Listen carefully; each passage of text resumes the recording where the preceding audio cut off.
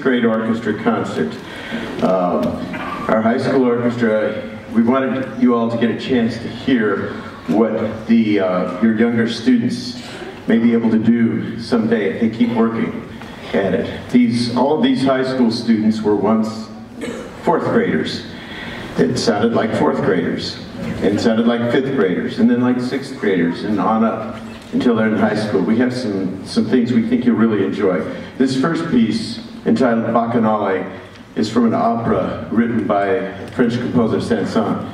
The, uh, the music depicts part of the story of Samson and Delilah, the part where uh, Samson is at the temple of the idol god Dagon and is about to bring down the house in the grand finale there where he stands by a couple of pillars, pushes them out, and the whole temple falls in on everybody there. So you'll maybe be able to tell the kind of more chaotic, very fast sound at the end. That's what's happening at that point. And then our next one, the 1812 Overture, very familiar piece. If you don't know it by the title, when you hear it, I think you'll be familiar and you'll know. It's done quite often at, around the 4th of July with fireworks shows. We decided that the weather wasn't going to be quite conducive to do that outdoors uh, this evening, so we're going to do it indoors without fireworks. And then, uh, then we're going to feature our string-based section, and uh, so we hope you enjoy the high school orchestra this evening.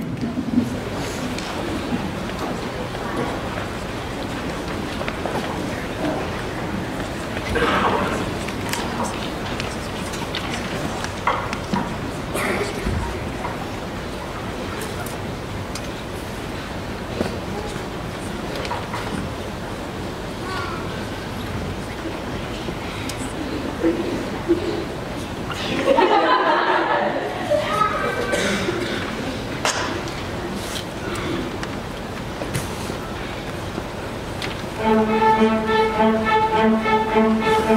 you.